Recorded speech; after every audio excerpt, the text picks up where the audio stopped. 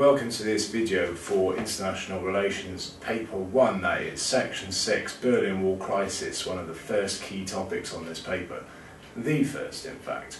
So, why does the Berlin Wall crisis happen? Well, it all starts by looking at this map of Germany by here. You can see Berlin is over there somewhere in East Germany, which is Soviet controlled. This, however, is a city divided into four zones. So there is an American section in Berlin, surrounded by Soviet territory. This is a problem. Why?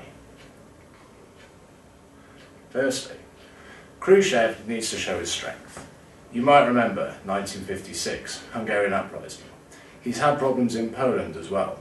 He needs to show the Russian cabinet that he is a strong man, and he can squeeze on Berlin to make sure that happens. Secondly, emigration from East Germany is now a disaster. Three million people since 1961 have legged it over the border into West Berlin to get plane tickets to the West and disappear and live in capitalist West. This is a propaganda nightmare. He cannot let this go on. Finally, he therefore demands the withdrawal of US troops from Berlin to show himself as a strong man and to hopefully close that exit ticket to the West. So, what happens next? Well, this is a lovely picture of West Berlin. Doesn't it wonderful? Trams, shops, it's a capitalist paradise. Bad news for Khrushchev. So, the Americans are not going to give up West Berlin. No chance. But, similarly, they're not prepared to go to war over it. This means they start to talk to each other. Start off with Geneva, 1959. Not a great deal happens. Pretty much sets the foundations to have a second meeting in Camp David, which is significantly in the US. It's one of the president's private little retreats. So Khrushchev pops on a plane, goes over, September 1959, Camp David. Again, not a great deal happening. Paris is one of the big ones. We're going to look at it in more detail on the next slide, and Vienna also. So, Paris. Now, Eisenhower goes there, hoping for something called open skies, which means we're going to agree to allow spy planes to fly over each other's territory to make sure no one's preparing for war. The Russians haven't really agreed to this, so that's a bit of a problem. Uh, Eisenhower and Khrushchev meet up, and nine days before the conference, Eisenhower's jumped the gun a bit. He sent a U-2 spy plane over Russia, and it got shot down, piloted by Gary Powers, lovely little detail for the A stars. This makes Khrushchev furious. He goes in saying, we never agreed to allow you to send spy planes over Russian territory. You're sending spy planes over Russian territory. You need to apologise for this. Eisenhower refuses to apologise, Khrushchev throws his toys out of the pram and goes home.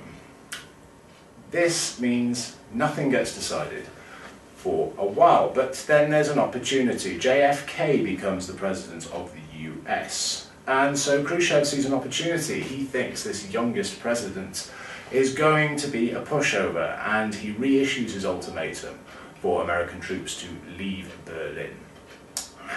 However, this has got worse. Bay of Pigs, which we'll come on to in a later video in more detail from the Cuban Revolution, that has soured relationships, so they're not particularly good friends at the moment.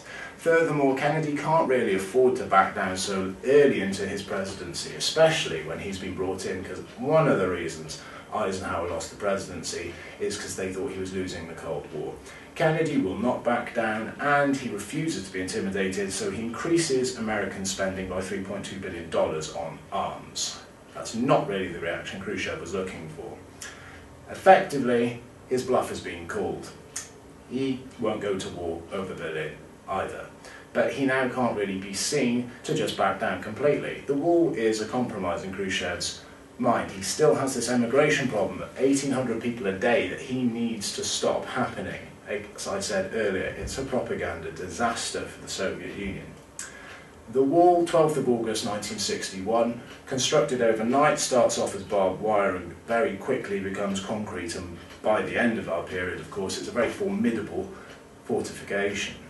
Uh, it is a propaganda success for the Soviet Union initially because the West are caught completely off guard. They never saw this coming. It looks like Khrushchev's got one up on the Americans. But in the aftermath of the Berlin Wall, it's not quite so simple. In fact, the opposite starts to happen. It becomes a very visible reminder of Soviet oppression that we need to build a wall to keep our people in the, in the East and under communism. People don't want to be here.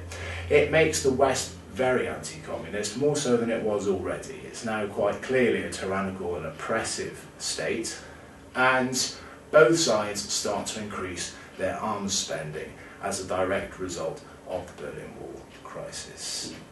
Thank you very much and goodbye.